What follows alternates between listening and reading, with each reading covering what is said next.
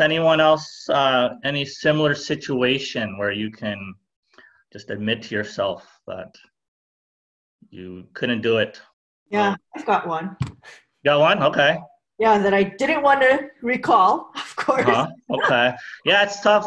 This is really tough to talk about actually because you know it's, it's kind of a taboo subject, choking, and uh, but we gotta we gotta talk about it. Um, yeah, what happened there, Zumi? Yeah, so I was playing singles against um, you know somebody who was um, you know we, we talked about um, somebody uh, some of the players who looked like a who who who's like a wall, right? Every, uh-huh. every you know shot you you um, hit, they would just dink it back.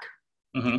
Yeah, uh, so it was one of those players. Um, she runs around a lot um, and just get every ball back with with no power and no you know no finesse. So I was like, okay, I'm skill level. I'm probably better than her, so I should be able to ma- win this match, right? So we started yeah. like two sets, and I had it, and then it went on to I think tiebreak, and I lost the tiebreak and the match. So that was that was really devastating. yeah, yeah, it's tough.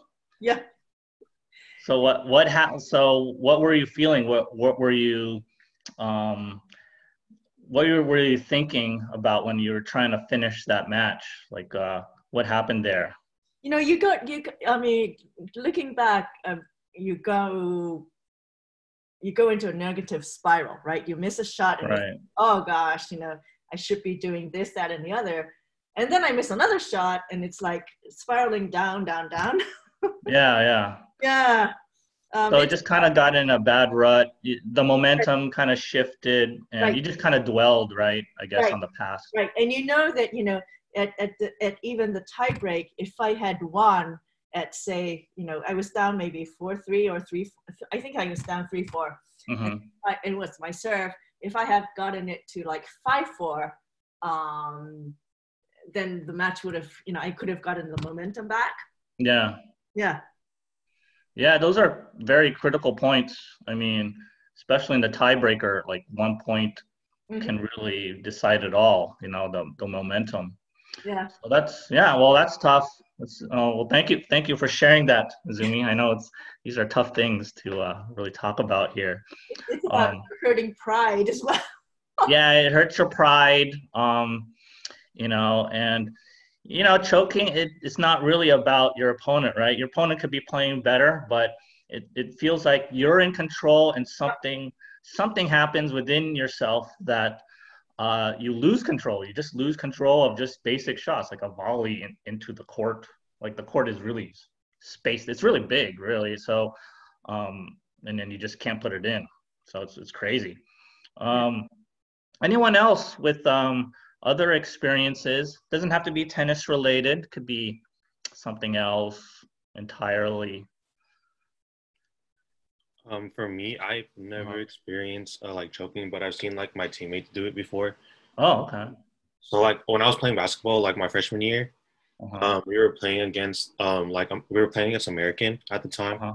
and um, like the game was tied and there was like a couple seconds left on the clock and he got fouled and mm-hmm. then he was our best player at the time. So like we're like, oh, it's everybody on the bench is like, oh, it's automatic. Like he's gonna make The Yeah. And then he ended up um, missing both of them, and the game just got sentenced to overtime. And then like um, we ended up winning, but then at the end of the game, we were like asking him what happened. He was just like, I don't know. It was just I just felt like a lot of pressure because I guess like that's the first yeah. time he's ever been like in that kind of pressure situation, like as uh-huh. a player.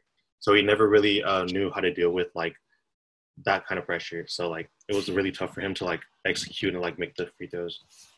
So was he a really good free throw shooter yeah, already? He was, he was, During practice, he was always automatic, and during the games, regularly, like regularly during the games, he would make them all the time. But it was just like I guess the pressure of like, uh-huh. like the stakes yeah. of like if I make these free throws, I win the game. I guess like it yeah. got to him. So.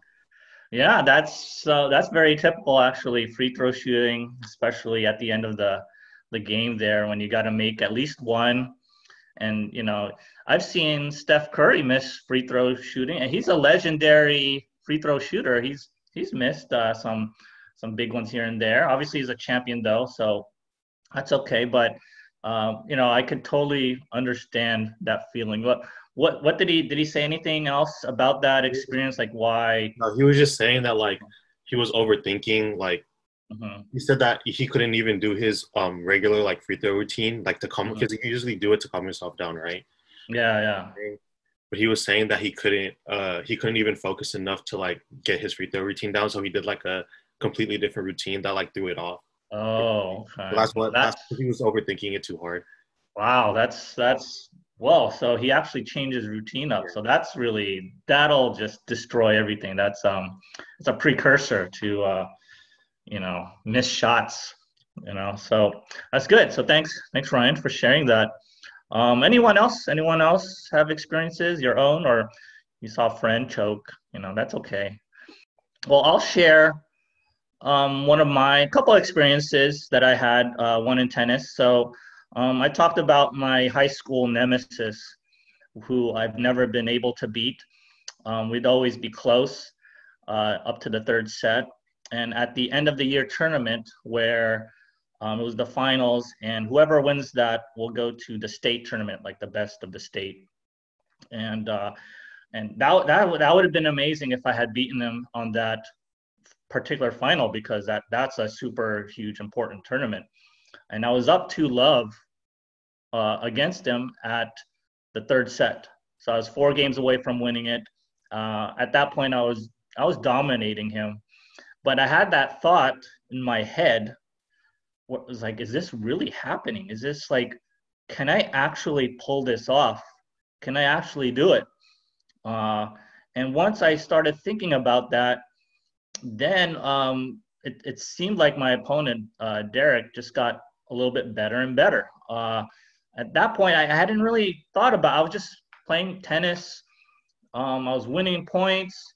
I was playing well, but then I was like this realization that I might actually beat my nemesis at the end of the year tournament.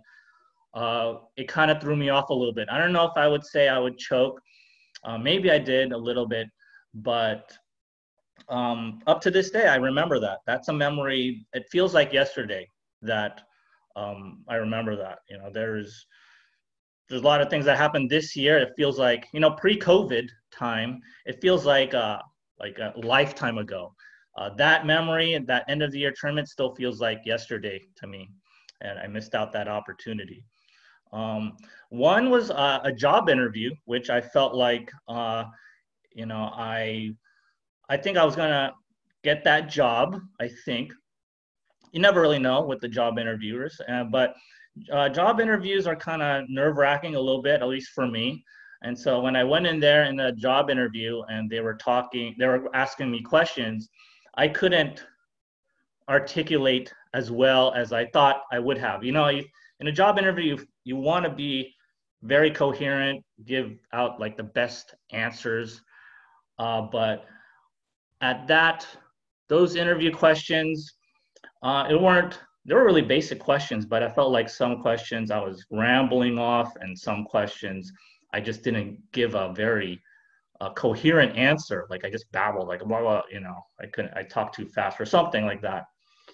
And uh, yeah, I didn't really hear it back from them. So that kind of sucked. So yeah, so those were my experiences as far as choking. So thank you. Thanks for um, sharing those experiences there. That kind of helps us kind of understand.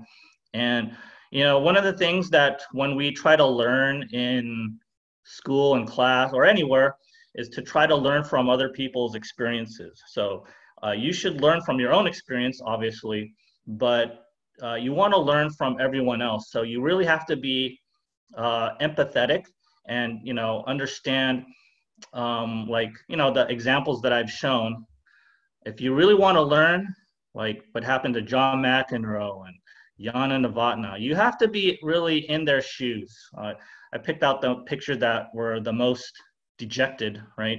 They were, you know, you could really feel it, you know, just by looking at them. They were down. And you have to really feel that. And then when you're in that situation, you have a, at least a chance to uh, not choke and do the things that you need to do. Learn from their experiences, okay?